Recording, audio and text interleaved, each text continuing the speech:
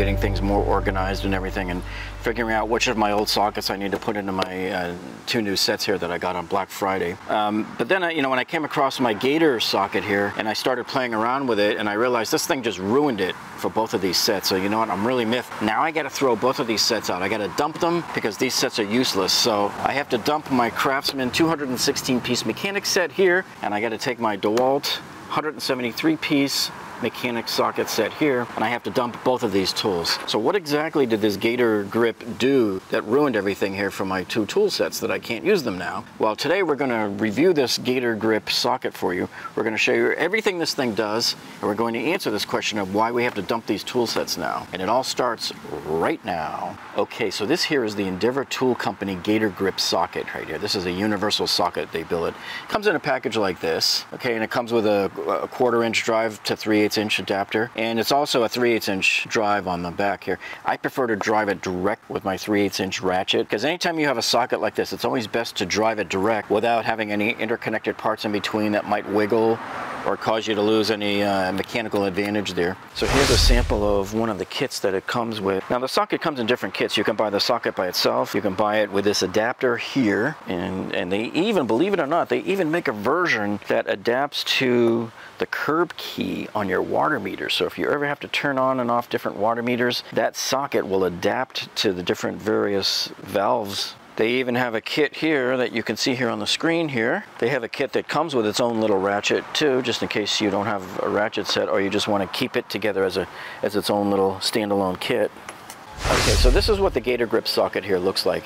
And as you can see, it's got 54 stainless steel rods on springs that kind of push back in. They compress together to one another here. And what happens is, they wrap around whatever fastener you're going to plug this onto and it and they'll get a grip on it and it spins it around and tightens around it and enables you to tighten or loosen it. Okay, now just a little disclosure. I want you to know this is not a paid commercial. Nobody paid me to talk about this product. You know me, I'm always doing product reviews anyway.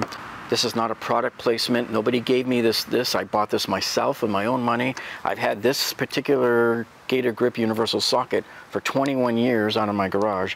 So, but one thing I'll tell you that is when I put the links down in Amazon for this product, and if you go and buy it from Amazon, we do get a couple of percent commission. So thank you for your support there. And you know, really, is there anybody alive today, folks, that doesn't know anytime somebody gives you a link to Amazon, they're making a couple of percent from that? What's amazing about this part here is that this has sat in my garage for 21 years. I bought this socket back in 1998 back when I saw the as seen on TV, you know, infomercial for this.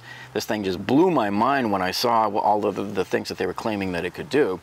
And so I, I bought this at that time. This has been sitting out in my garage since 1998.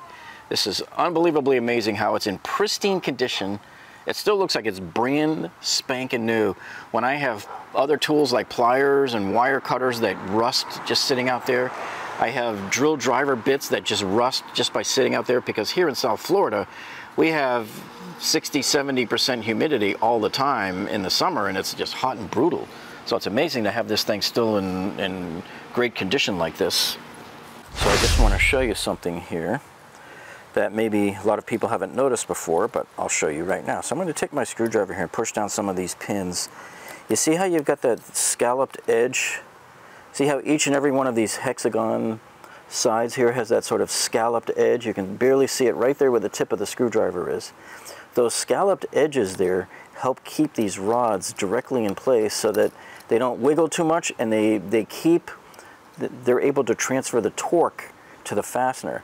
The cheap knockoffs don't do this. They just stick their rods in there and the rods are all over the place and it causes them to not fit very well and often they break due to the fact that they're using cheap steel and probably white metal as their rods, not high-end stainless steel like Endeavor Tool Company is using here on this Gator Grip Universal socket. So in case you were thinking of, well, let me let me try to save three or four bucks and go buy one of those cheap knockoffs that I see on Amazon or eBay, well, um, let me let me warn you about those and tell you what's the difference here.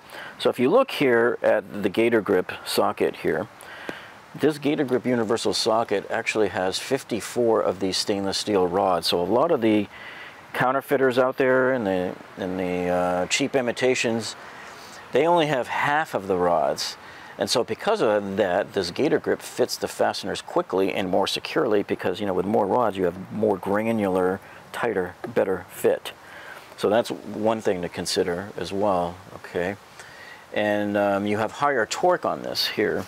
So the gator grip, actually, it's rated to over 150 foot-pounds, even though they exceeded 200 foot-pounds of torque in the laboratory tests but they're, they're uh, warranting it, I guess, up to about 150 foot-pounds here.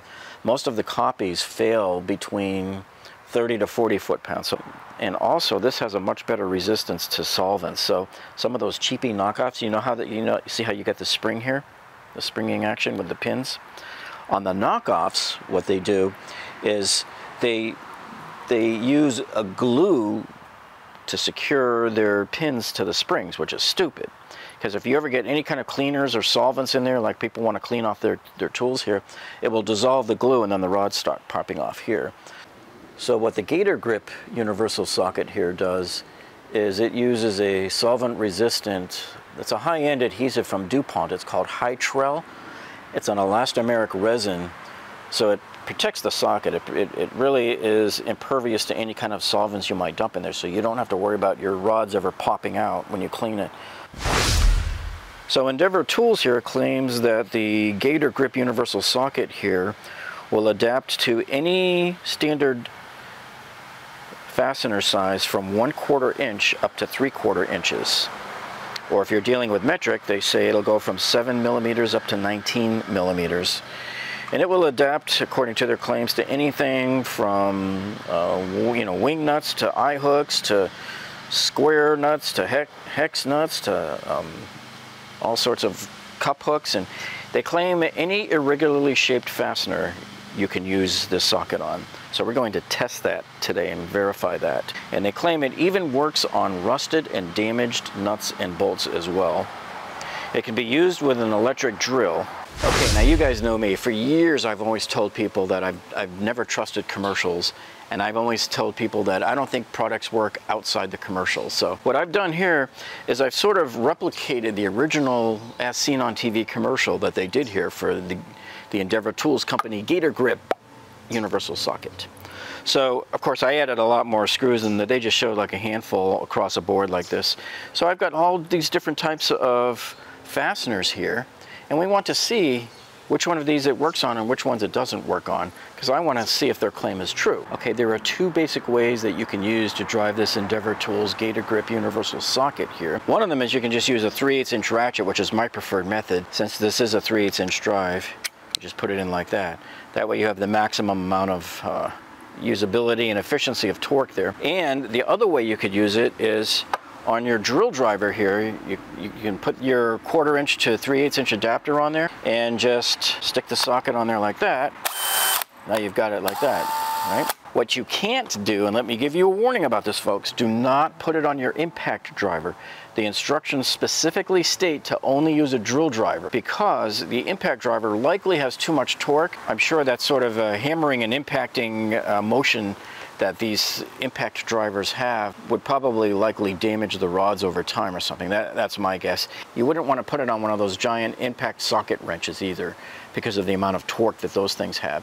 So it's meant to be used slowly and surely, I guess, with a regular drill driver. And a question you might have is, hey, you know, can I use it on a spark plug? Can I use the Gator grip to pull out my spark plugs? And the answer is no, and I'll tell you why. Because see, when you go to push it in like this, you know, you need a deep well socket. The, the pins just simply don't push in far enough to, to be able to get in at the hex nut, which is over here. So you would need a, a deep well socket, which they don't have a version of that. And um, I don't know whether they can make a deep well socket version of it. So for now, you can't use this to undo your spark plug. Sorry, guys. Hey, I got a question for you. Do you think we can use this to pull the lug nuts off of the rims on our car? All right, so let's try this Lexus SUV. Doesn't look like it's gonna fit because it, the head is just too big around. So you would have to have a lug nut whose head is three quarters of an inch or less. So, not on this car. All right, so let's try the Mercedes here.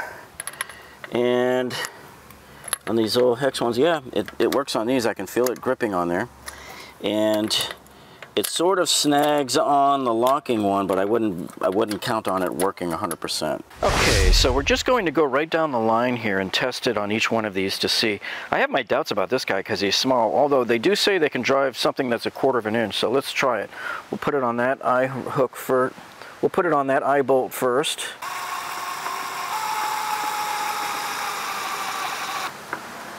Yeah, drove it all the way down. Let's see how it works on this guy.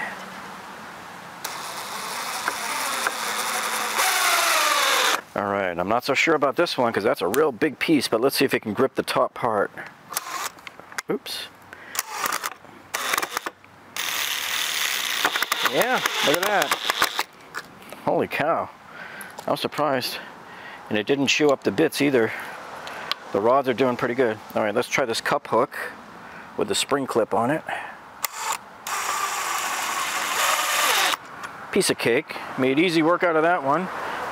This one will probably do the same.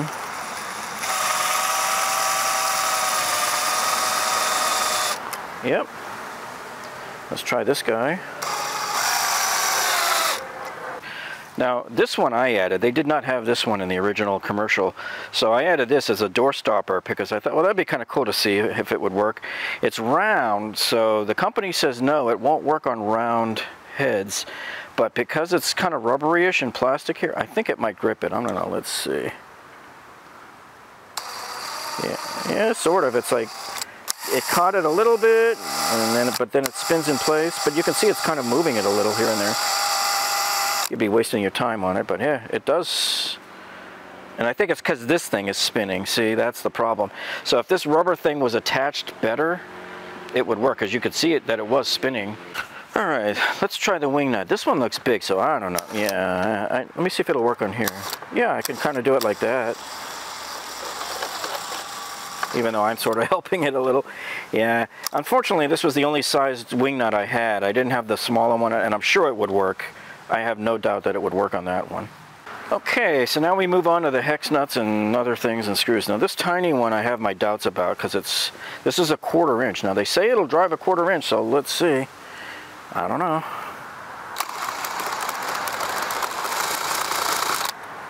Yeah, it didn't seem to move it. And I know that that's a quarter inch head on there because I put a quarter inch socket on there. I mean, yeah, it did drive it, okay. So I guess it barely, barely makes it. I guess you just have to get it right. But yeah, you can see it drove it down here. So this one's a 5 16 inch head. This ought to be a lot easier. I can feel it gripping. As soon as I put it on there, I can kind of feel it grip, so. Yeah, so this drives it down pretty good. Okay. Then you have this one here. This is a, um, this one here is a 5 8 inch drive right here. Had no problem with that one. This one here is a 3 quarter inch head on this one here. And we'll see if I can get it so you're right at the max limit of what they say. So I think what has to happen here is you have to turn it around until you can get it to line up. Okay, yeah, I got it there, see? It finally got on. So now let's try it. And it works, it's moving it. Okay, so now we're moving on here to the really weird and wacky. So here we've got a thumb screw. I'm gonna see if it'll spin this guy around. Oh yeah, with ease. He had no problem with that guy. And here we have an angle bend here, square bend. Let's try that. Yep. So it was able to fit around that square bend there and get him screwed down. How about a Tapcon? See, now he's got a round head, so I'm thinking no, it's not going to work. Yep, I was right.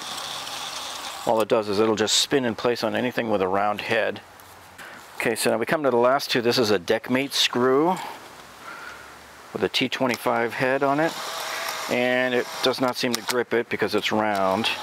Now this last one here, this is a very unique case of a screw here. This is not a round head. It might look it, but I don't know if the camera can show it, how it's actually sort of a hexagonal shape, but each of the hex sides indent in, so it looks almost like a rose, like a flower petal here. This is a rock-on screw here. These are screws that we use normally to screw in Duro-Rock Wonderboard. So when you're doing your, your tiling, we, we use these screws to screw in the, the, the the tile backer boards there in the shower for tiling the shower walls.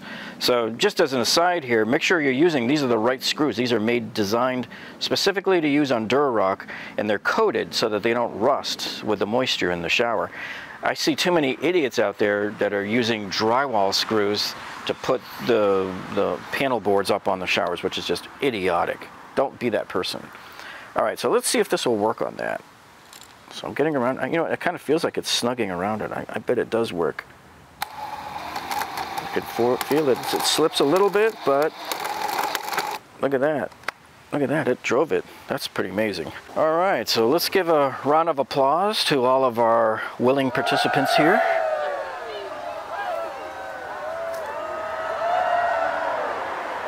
All right, so now what we want to do is we want to see if this Gator Grip universal socket here will work on this bolt here, and we want to see how much torque we can put on it. How much torque will this Gator Grip socket withstand here using my torque wrench here.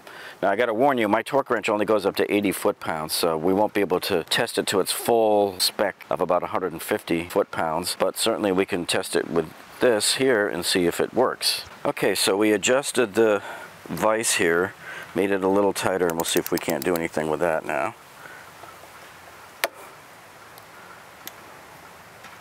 I think we're tripping the uh, 80 pound limit here on the torque wrench. Yeah, I think all it's doing is just twisting the screw at this time. So we really can't test it for full torque on this. Take a look at this though. You see those scrapes right there? You can see how the bolt was spinning in place there on the, the jaws of the vise there, right? But look at this. The socket did a pretty good job of bending the bolt. So that's how strong it is. That's how strong the hold is on it. All right, so by now you're probably wondering, Jeff, why do you have to throw out your tool sets now? What did this thing do to your tool sets? How did it ruin them? Well, it didn't ruin the tool sets. This one socket seems to replace every socket I have in both of these. I don't need them anymore. So I might as well just take this DeWalt tool set here and, and dump it, throw it off the wall, let it crash to the ground. I might as well just take my Craftsman 216 piece mechanic set here and get rid of it because this socket seems to cover everything that's in here. Nah, come on, I'm just teasing. I'm not gonna get rid of these two sets. These are great sets. But I can tell you one great thing about this Gator Grip socket. This socket, I call it my lifeboat socket because this thing has saved my butt numerous times over the years, which is why I bought it originally. But six months ago, we were using it, um, we had it at a friend's house. My friend came and picked me up, we grabbed some tools and we went over to fix his condo up that he was gonna sell. Just put some lipstick on the pig. And we went to go to unscrew the screws on his front door for the curtain rods and guess what?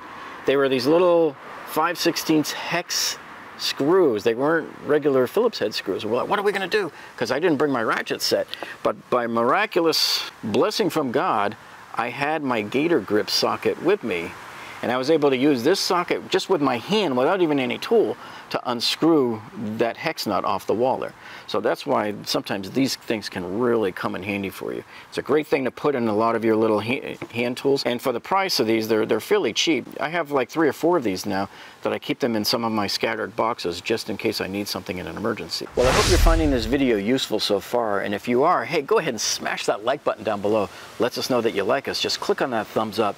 And if you haven't subscribed to our channel yet, all I can say is, why not, man? So go ahead and click that subscribe button down below because here on this channel, we give you all sorts of world-class videos on remodeling your house, big engineering disasters, how to recover major issues around your house. And we do tool reviews as well, like you saw here today.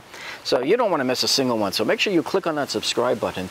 After you click on that subscribe button, click on that little gray bell icon next to it. That way you'll be alerted every time we upload a video because otherwise we'll be uploading videos left and right and YouTube will not tell you unless you tell YouTube that you want them to let you know when we upload a video. So that's it for this week, folks. Thank you so much for joining us. I appreciate each and every one of you coming here today. And guess what, folks?